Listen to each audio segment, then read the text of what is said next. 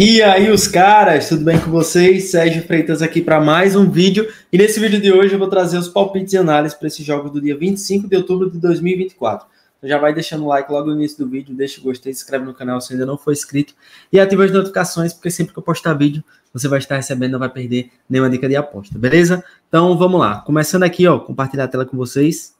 Agora sim. Começando aqui pelo jogo do Leicester contra o Nottingham Forest. É um jogo com tendência para ambos marcam, viu? Acima de um e meio, grandes chances, e ambos marcam também. Se eu pudesse dar uma sugestão de placar, seria um a um esse confronto aí.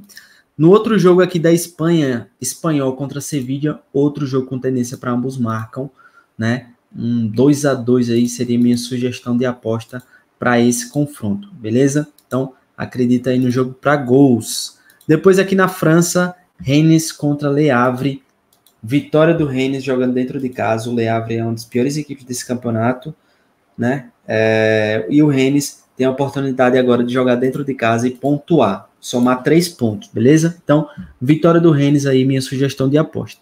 Depois nós vamos lá para Portugal, é o Casapia jogando contra o Nacional. Minha sugestão aqui para essa partida vai ser o Casapia empate anula o DNB eu acredito que o Casapia vença ou empate, então fica essa sugestão de aposta para vocês.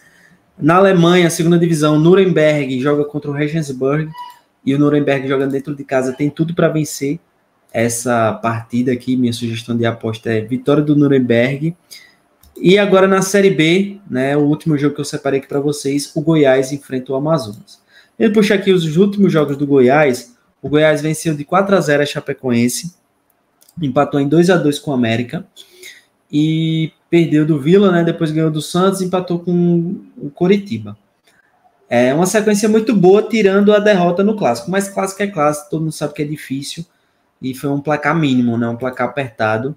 Então acredita aí que o Goiás possa. Ó, jogando melhor ainda, o Goiás venceu. Ou oh, o Goiás perdeu a partida, né? Mas é isso aí, o Goiás está jogando bem e eu acredito que contra o Amazonas ele vença jogando dentro de casa. Essa vai ser minha sugestão de aposta para vocês, beleza? Então essas são minhas dicas para hoje. Deixa o like, deixa o gostei, entra lá no meu grupo gratuito do WhatsApp. Em breve eu vou estar tá lançando a minha consultoria VIP. Então lá no grupo do WhatsApp tem também a lista de espera. Então entra lá na lista de espera para você ficar por dentro de tudo como é que vai funcionar, beleza? Tamo junto, até o próximo vídeo aqui do canal.